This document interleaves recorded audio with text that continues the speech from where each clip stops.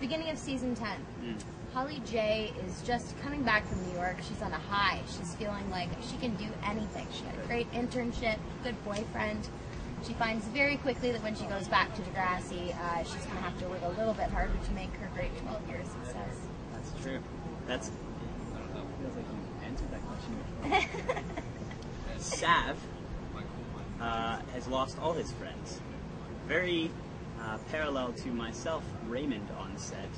Dalmar, Jamie, Shane, Scott, all of these guys are no longer here at Degrassi, and neither are their characters Johnny, Spinner, Danny, Peter.